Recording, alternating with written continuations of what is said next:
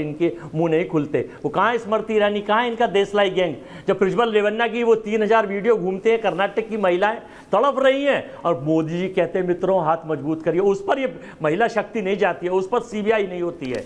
और जब बनारस के बाबा विश्वनाथ की नगरी में आईटी सेल के तीन पदाधिकारी बीजेपी आईटी सेल के तीन पदाधिकारी बलात्कार करते हैं, तब ना स्मृति ईरानी बोलती है, ना मेनका गांधी बोलती है, ना शहजाद पूनावाला बोलते हैं, ना नरेंद्र मोदी बोलते हैं, ना अमित शाह बोलते हैं, ना बीजेपी के चीफ मिनिस्टर बोलते हैं, ना योगी जी बोलते हैं।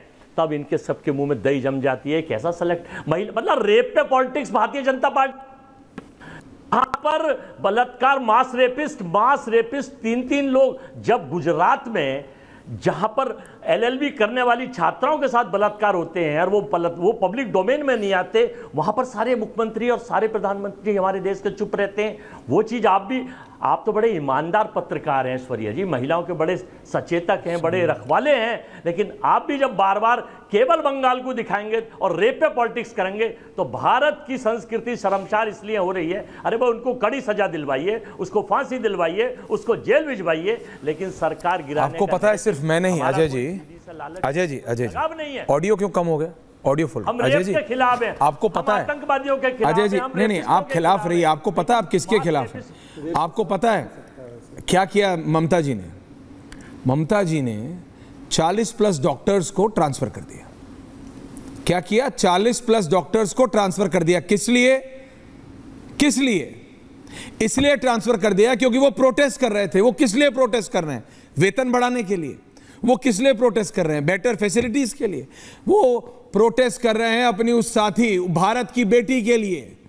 मैंने कहा ना वो कहावत है जो अपने पड़ोसी का घर जलता देख के चुप रहता है उसे ये नहीं मालूम कि अगला घर उसका होता है।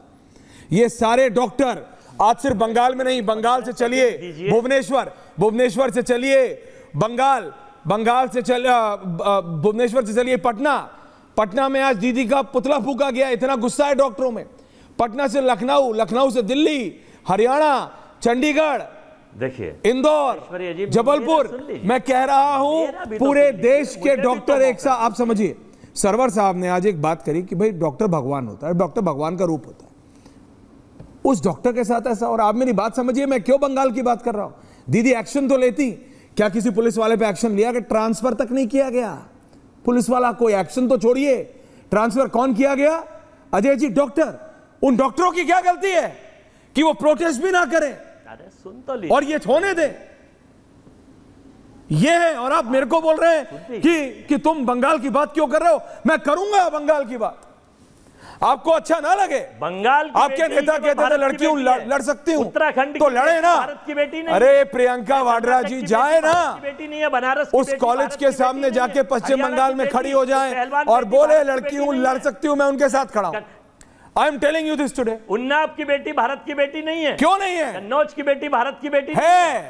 हर बेटी भारत की बेटी है। जागो। इनके मुँह में दही जम जाती है। दीपक ऑल्सो राम शहजाद- को चुनाव जीतने शहजाद शहजाद बाबा को आपने शहजाद जी वही किया जिसका डर था। ठीक है, अजय जी ने वही किया। अजय जी क्योंकि आपने वही किया जिसका डर था मैं आपको एक ही वाक्य में उत्तर देता हूँ।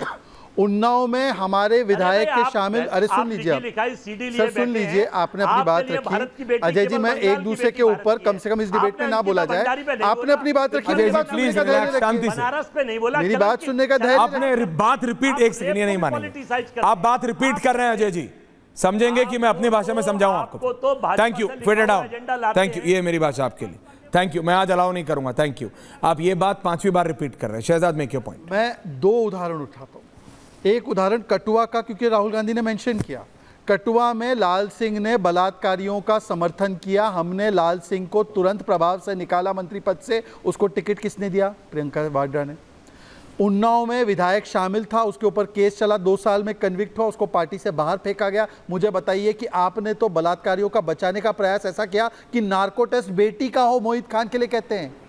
मोहित खान पैंसठ वर्ष का बुढ़ा एक 12 साल की निषाद समाज की बेटी का बलात्कार करता है और पीडीए पीडीए कहने वाले उस बच्ची का नार्को टेस्ट मांग रहे हैं। अरे कुछ तो शर्म कीजिए अजय जी। और आप संविधान बचाओ वाले ये क्यों भेज रहे हैं नोटिस पत्रकारों को? अजय जी को लाइए। ये क्यों ट्रांसफ़र ट्रांसफ़र क्यों कर रहे हो डॉक्टर को?